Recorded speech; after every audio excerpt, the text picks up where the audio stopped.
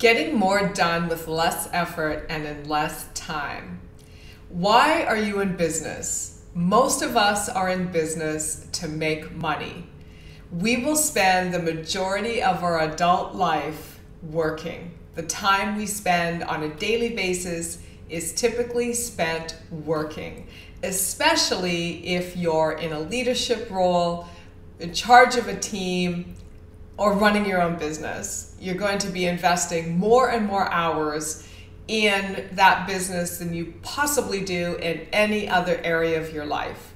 So, with that said, having joy, fulfillment, happiness, being inspired, being enthusiastic, that's really the key to how you spend your time. And of course, making money goes right alongside of that. And why wouldn't you? So this video is all about how to get more done with less effort and also how to get more done with less time. So who is this video for? This video is for entrepreneurs that are money, running multiple businesses. Maybe you have your interests in a variety of, of areas. It's for team leaders. It's for people in charge of regions, divisions, companies it is for those that really want to increase their productivity. And this is typically why clients come to me. They come to me to have a greater ROI in their business so they can actually look at their investment and say, yeah, I'm getting a really great uh, return on my investment here. They're looking to attract inspired and enthusiastic team members. They're looking to increase their coaching and leadership skills to inspire those team members to perform at greater levels. They're looking to grow the business and expand the footprint. They might be in an inflection point and they need some guidance to get to that next level they might be rebranding or reorging their their entire company. There's a variety of reasons that co- companies and clients come to me, and of course, perhaps the main reason is all about mindset. So when we talk about effort, getting more done with less effort, that also relates to getting more done in less time.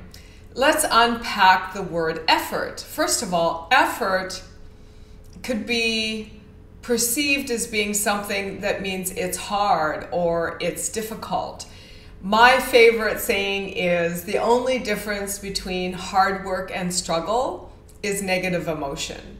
So, are you efforting or are you enjoying the journey? So, stick with me. I'm Deborah Peters. Welcome back to the Deborah Peters Show. And in this video, I'm going to completely unpack this whole notion of getting more done with less effort and in less time. So let me break it down to you in a few pivotal steps because this could be multiple videos. And I want to make this as concise as possible so you can start implementing these tools as quickly as possible and get the greatest results as you possibly can. First of all, it really is about having clarity of mind without really knowing your why when it gets challenging, when it gets tough, when you don't know the answer to something, then it's so easy to start to distract yourself with busy work like checking email, checking out your social media, chatting up a colleague, running something by someone that you really don't need feedback on. You know, all the time filler stuff that you could actually look back on the the process of the day and you could possibly justify having needing to spend that time engaged in that activity. However, that's not producing new results for you. And this is the biggest piece that we want to look at is your why. It's really important to have a why that you can connect to that when you start every single day no matter what comes across your path, no matter what comes across your plate, you see it as an opportunity to grow, to expand, and you leverage it and you actually step into it and you turn it into a possibility. You turn it into a blessing. So, with that said, I like to have all of my clients set up their day in advance. So you've got your why, you you have your end goal, you have clarity of purpose. And so having a morning routine that actually sets the stage for that is really the key. I've talked so much in my videos about the necessity to meditate in the morning. I even have a video on my channel that talks about my weekly routine and then I broke it down into days and I shared with you my fitness routine. I shared with you some information about my nutrition. I didn't go into detail, but I gave you an idea of where I'm coming from, what perspective I have on that. And then I shared some basic tips on how to get my mind into a productive place so that I'm running my day instead of my day running me. So you might want to go back through some of my videos and start to look through. There's a med- couple meditation videos. There's my weekly and daily routine video, and there's tons of information on the value of setting the tone for your day and getting your mind into the right space so that when you step into your day, you're not allowing yourself to be distracted by all kinds of elements that are outside of the purpose and the focus of your day. Next is really truly about focus. So when we have this understanding of where we're headed, we have the clarity on our end goal, we know what we're driving toward being able to focus on that is really critical. So, I did a video on multitasking. In case you haven't heard, multitasking is dead. It, I don't really feel it was ever productive. In fact, I think it really contributed to how easily we allow ourselves to get distracted by social media, by conversations about what's going wrong in the world, by politics, by all of these external things that really do completely distract us from what it is that we're looking to create and achieve in our lives. And this one tool can enable you to get a lot more done with a lot less effort in a lot less time than you could ever possibly imagine. You could probably cut your day in half. You could probably take an eight hour day and cut it into four hours and go play for the other four hours of the day. You could probably take a 40 hour work week and deduce it down to 20 hours of really focused time.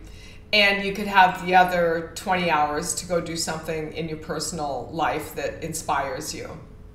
All right, so multitasking, it's the it's the antithesis to success, I believe. So cut out cut out the multitasking. All right, now the next thing is chunking. I did a video a while back on how to literally map and engineer your goals. And it was at the beginning of January when everybody's talking about New Year's resolutions. And I basically just nailed down exactly what it is that you can do to create the 2020 that you want to create, to create this decade of the 20s that you want to create. And I literally gave you the steps, and it's called reverse engineering. So you want to get in there and you want to start applying that to your goals. So, first of all, you've got this scope of vision, you've got your morning routine, you've got your focus, you have this understanding of where you want to be by a certain time and it's measurable and you can attach key activities to it. So that's my next point is you want to attach key activities to that end goal. And in order to do that, you have to be able to chunk down your big picture goal into achievable steps. Because without that chunking process, that big picture goal will remain such a big effort or such a big, colossal achievement that you will quite possibly not even take action on it and spin your wheels. So that's the biggest thing that I see. You know, how do we eat a whole pizza? Well, we eat it one bite at a time.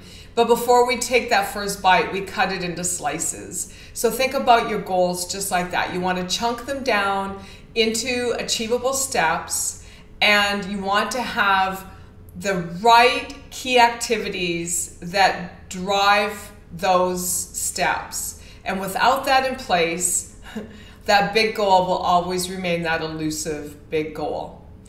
So, with the focus, and now you've got the chunking, now it's really about staying in alignment.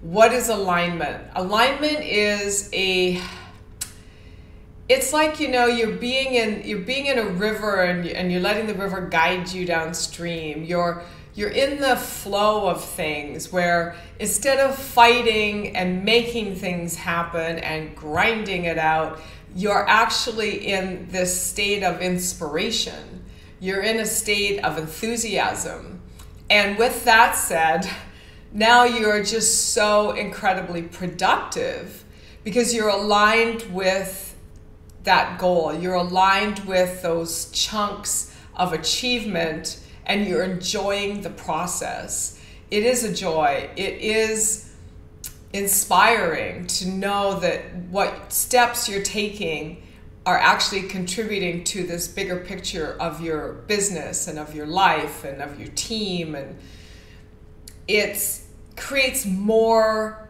creativity and resourcefulness in your mind Next, and most importantly, is time blocking.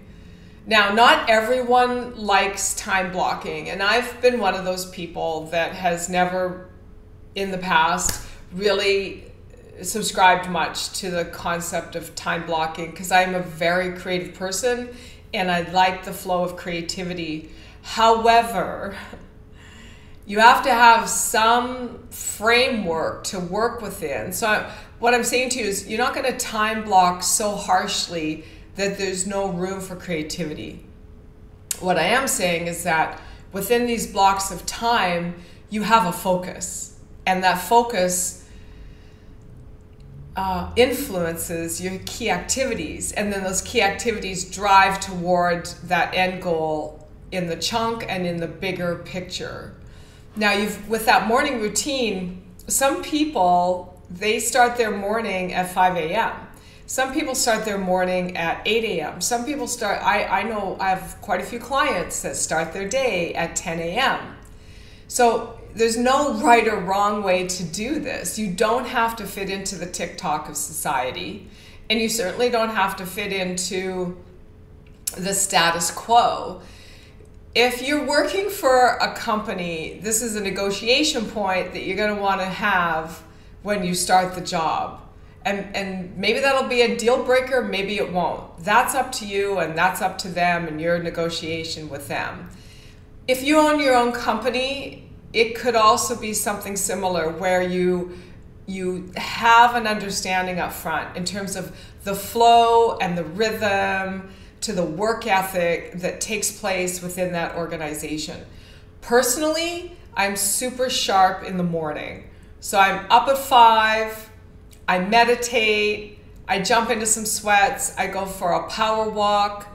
Part of my regular routine is to get outdoors and get as much air as possible every single day because it just clears my mind. And then I come back, shower, do my supplements, write down my goals and intentions for the day. I rewrite them sometimes, I make my targets. I determine what I'm grateful for. And all the while I'm on my walk, I'm having that conversation with myself as well. So, your morning routine might start at five, your morning routine might start at seven. It's up to you. You really just have to find the rhythm that works for you. But I will tell you this if you want to get more done, you start earlier. And some people are nocturnal and they like working late into the night the challenge with that is when you're in business, if there's phone calls you need to have in the morning, you're not going to be able to have those phone calls because you're just not going to be up and on it. I have a lot of clients in Europe and the UK, so early morning calls are not foreign. In fact, they're the norm. Next is about your reset button. We all need to hit the reset button throughout the day. It's not reasonable to think that you start in the morning and you go full on hardcore for eight hours and then you shut off. Human body can't sit in a chair for that long and pardon me, you can't hold your focus for that long. So it really is about being in the right flow for you. I like to take breaks every 90 minutes. I get up, leave my desk, grab a glass of water, maybe I walk around my office, see what everybody's up to, check in. Sometimes I go outside. It's not a long break, five, ten minutes just enough to hit the reset button and to get back into a, a new, fresh perspective in my flow. So, there's the top keys that I have for you in how to become more efficient, how to get more done with less effort, and how to get more done in less time. This is a part of your business model, it's part of your business strategy. And if you like this content, please subscribe and share it with your tribe. Give me a thumbs up, make some comments. I'd like to know what it is that you do in your day and in your week to make things run efficiently and smoothly and to hit your goals and your objectives. Now, if this is something that you find to be beneficial, I do run online classes. And I have an online course coming up late January. You can catch that in the description box. I'll put the link. It's the Mind Mastery Revenue Accelerator Masterclass. And then I have a live boot camp for business leaders where we get into business strategy and we get into mindset and we get into your business model. And that's coming up in March on the 20th and the 21st of March. And I will also put that link below. So thank you so much for being here today. This is the Deborah Peters Show. And it is my pleasure to bring this to you. And I look forward to seeing you again tomorrow.